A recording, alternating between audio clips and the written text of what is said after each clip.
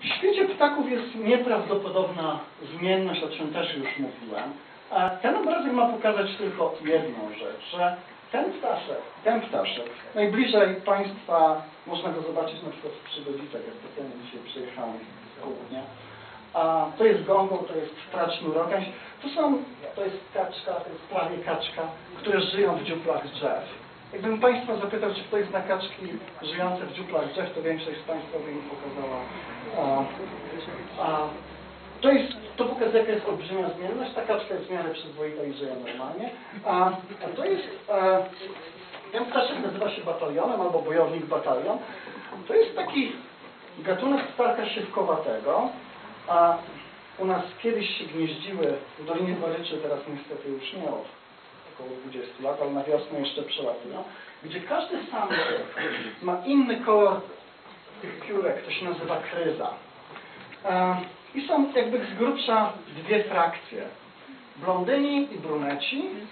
E, I u tych ptaków opisano po raz pierwszy, że ten kolor białego i czarnego, czy poziom białego i czarnego jest zależny od poziomu testosteronu. A, no i łatwo, jak pamiętają Państwo jeszcze hu hu czasy licealne, to, to było tak, ja jestem blondynem, więc miałem kłopoty, bo przez postaram później chodzi, że bruneci dojrzewali znacznie szybciej, prawda? I tym wszystkim koleżankom wydawali się znacznie poważniejsi. I oczywiście, no to chętnie dziewczęta tańczyły na dyskotece i tam takie inne rzeczy. A, no ale później jak człowiek po dwudziestu paru latach pojedzie na ten zjazd absolwentów i obserwuje te koleżanki, którym się nie spodobał, to mówi, Panie Boże, bardzo dziękuję, że się nie udało. że jednak poczekałem, chwilę.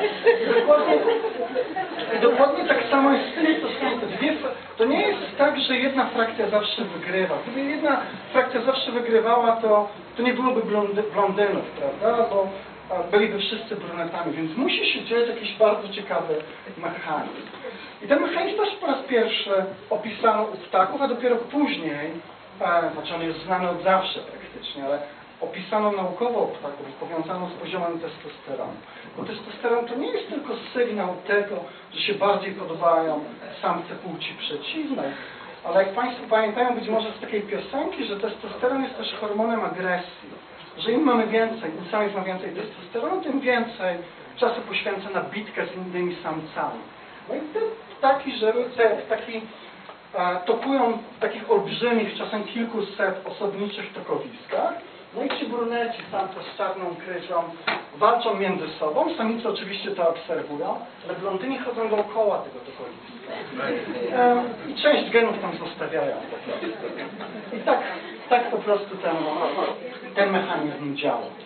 A gdybyśmy popatrzyli, a, jak zachowują się hormony ptaków, jak u ludzi, to one naprawdę są bardzo, bardzo podobne z jednym wyjątkiem, że człowiek stracił jakby sezonowość reprodukcji. To znaczy, że e, robimy to przez cały rok, prawda? Znaczy nie, że e, cały rok, ale dzieci rodzą się każdego dnia. To musiały być, e, musiały być powołane do życia 9 miesięcy wcześniej, prawda?